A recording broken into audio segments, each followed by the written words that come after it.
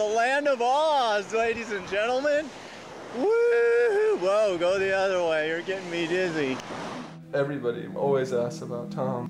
How's Tom doing? Everyone loves him so much, even people that he's burned. Tommy, What's up? They label me as bipolar, they label me as schizophrenic, they label me as all kinds of stuff, you know? But I'm just going through life like anybody else is. Sometimes I just feel like I'm just sort of trying to keep him alive to to get to his next level. Like I don't take any pharmaceutical medication. I believe in the other kind of medication. Our future with Tommy is in the moment. It's the now. That's what we have.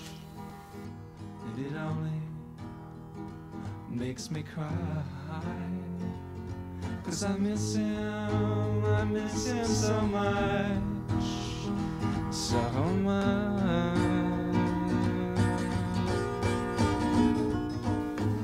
Tom and I turned every stone. We tried everything that was humanly possible. Even if we sold everything that we own, we wouldn't have been able to keep our son in treatment. And our hearts are broken every day that we deal with this, and um, it's it's also vulnerable.